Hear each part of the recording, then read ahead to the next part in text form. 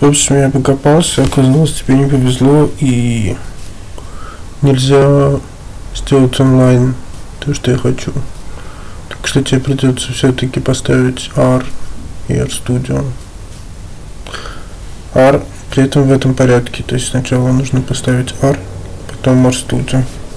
R можно скачать э, вот здесь, по этой ссылке я тебе ее кину. Ну и где-нибудь здесь будет кнопка Download R, и там тебе ты выберешь какое-нибудь зеркало и скачаешь R для Linux, Mac, Windows, все что угодно. Второе, что понадобится, это RStudio. Это такая оболочка, где удобно работать с R. Тоже я кину тебе эту ссылку. Тоже здесь есть винда, Linux и Mac. Когда ты установишь, перед тобой будет что-нибудь вот такое. Скорее всего. Э, и я, собственно, перед тобой будет вот что-то такое, тебе нужно будет открыть вкладку скрипта. То есть здесь это консоль, где можно набирать, там, например, 2 плюс 2 равно 4 и что-нибудь читать. А здесь некоторые скрипты, которые ты пишешь и можешь редактировать. Чтобы запустить что-нибудь из скрипта, тебе нужно нажать Run или, как он сейчас подскажет, Ctrl-Enter. Вот. А что тебе понадобится дальше? Дальше тебе понадобится скрипт, который я написал. И находится где-то здесь. А, и, собственно говоря, здесь два файла. Здесь файл со странами и э, файл R. Тебе понадобится оба. Первый я просто могу скопировать и э, вставить сюда. Второй надо будет скачать. То есть ты берешь, говоришь row, он перед тобой открывается, и ты его куда-нибудь сохраняешь. Например, давай создадим новую папку. Под названием New Folder.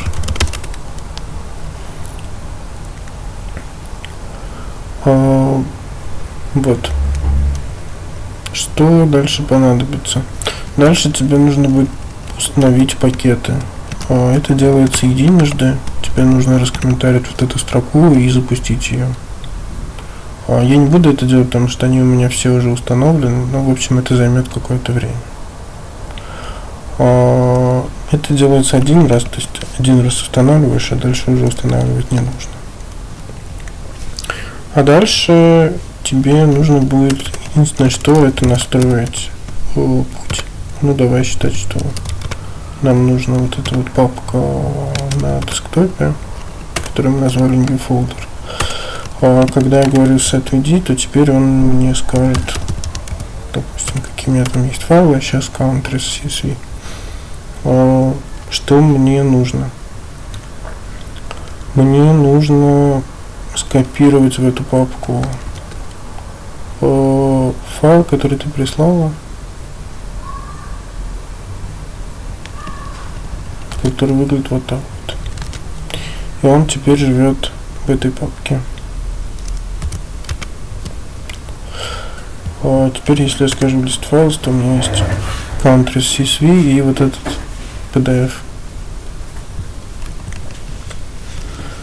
А дальше уже начинается как-то более-менее можно идти просто по скрипту. То есть я включаю один пакет, включаю другой пакет, а, загружаю модель а, и дальше работаю с файлом. То есть я запускаю, он какое-то время будет работать. Ну, на коротком файле он будет работать быстро. Ну и теперь у меня появилась переменная текст, которая содержит вот все, что я на оси. Получилась вот такая штука, и дальше я это сохраняю в файл results текста.